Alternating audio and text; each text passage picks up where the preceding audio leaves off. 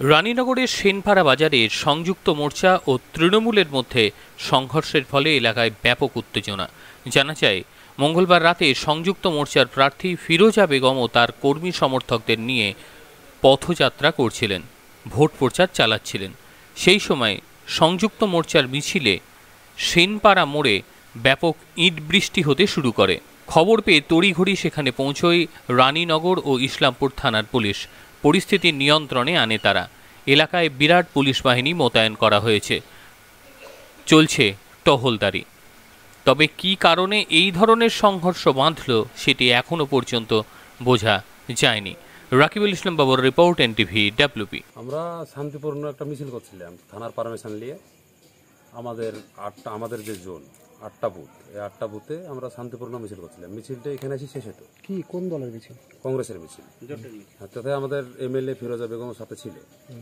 এবার পুরো শেষ মানে আটটা জোন শেষ করে এসে মানে আটটা বুথ শেষ করে এসে আমরা যখন সেনপাড়ার মোড়ে পৌঁছাই তখন এখানে আমাদের পঞ্চায়েত সমিতির নেতা সোহেল নুর ইসলাম টিএমসির নেতা ওরা ওরা মানে লাঠি সোটা বম তারপর ইটের মানে পাথরের ই মানে বড় বড় চাইলে এর উপর বসেছিল প্রত্যেকটা ছাদের উপর বসেছিল। আমরা যেমনই পৌঁছালাম এমএলএকে পার করে মানে মুডটাকে ঘোরাচ্ছি সেই টাইম কেন এসে আর লাঠি সোটা নিয়ে অনেক মানুষ লাঠি সোটা নিয়ে এসে মারতে শুরু করে দিল। আপনাদের সামনে হ্যাঁ আমাদের সামনে। গাড়ি আমাদের গাড়ি অনেক ভেঙেছে মাইক ভেঙেছে অনেকজনের হাত পায়ে চোট লেগেছে। মানে হঠাৎ কি আপনাদের উপর আক্রমণ করেছে? হ্যাঁ হঠাৎ। এটা কি জানি না তো কেউ। পরিকল্পনা আমরা তো কিছুই জানি না। আমরা মিছিল করছি থানার পারমিশন নিয়ে এতে আবার এ হয় মানে মারামারি হয় এটা কে জানে? আপনাদের দলের কোনো খাম হয়েছে কারণ হ্যাঁ অনেকজন খাম আছে খাম তো হবে ইট মারা ইট পাথর দিয়ে মারছে খাম হবে না আজগুবি। আর এটা তো কেউ জানে না এখানে কোথাও কোথাও কোনো দিন ঝামেলা টামেলা হয়নি। শোনা যাচ্ছে আপনাদের মিছিল থেকে নাকি কেউ গালাগালি করেছিল। গালাগালি না মিছিলের স্লোগান দেখেন সব পার্টি স্লোগান দিছে যে যেরকম স্লোগান সে সেরকম দেয়। তাই বলে এটা না যে মিছিলের স্লোগান ওরাও তো উল্টাপাল্টা অনেক কথা বলে গেছে আমরা তো ওইভাবে কোনো রকম উল্টাপাল্টা ভাষা বলিনি।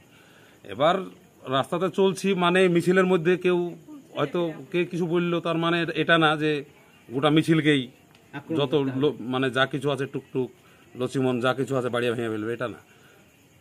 তার কারণ এটা তো ওইভাবে মানে ঝামেলা করার জন্য না গোটা আমরা আটটা বুথ ঘুরেছিলাম তাতে তো কোনো সমস্যা হয়নি। আর এদের ওটা পরিকল্পনা আগে থেকে পুরো আজকে সেনপাড়ার মোড়ে কংগ্রেসের মালিবাড়ি ওয়ানের মিছিল গিয়েছিল গোটা অঞ্চল জমায়েত করে। সেনপাড়ায় গিয়ে অকথ্য ভাষায় তৃণমূল পার্টির বিরুদ্ধে গালাগালি করছিল। গালাগালি করতে করতে মিছিল থেকে একবার এলো পাথার ইট ছুটতে শুরু করে। ফিরোজা বেগমের নেতৃত্বে। ফিরোজা বেগমের বডিগার্ড গুলি চালিয়েছে মানে গুলি শো করেছিল পিস্তল। আমাদের কর্মীদের ওপর পিস্তল ধরেছে, পিস্তলের বাট দিয়ে আঘাত করেছে, আমাকে ইট মেরেছে। ওখানে উলু ছিল ফিরোজা বেগমের সাথে উলুর নেতৃত্বে।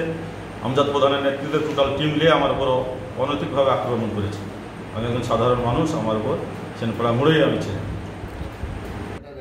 মালিবাড়ি ওয়ানে। সেখানে দু তিনশো দুষ্কৃতীকে জড়ো করে সেনপাড়ার মোড়ে এসে আমাদের দলীয় কর্মীকে হঠাৎ আক্রমণ আমাদের দলীয় কর্মী, আমাদের অঞ্চল, অঞ্চলের সহ, সভাপতি এবং পঞ্চায়েত সমিতি কর্মাধ্যক্ষের হাজব্যান্ড সোহেল রানা, সেখানে মাল বিক্রি করতে মাল বিক্রি করছিল রেশনে।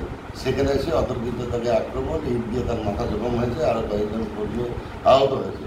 কয়েকদিন থেকে ফিরোজা বেগম এলাকার উস্কানিমূলক আচরণ করছে।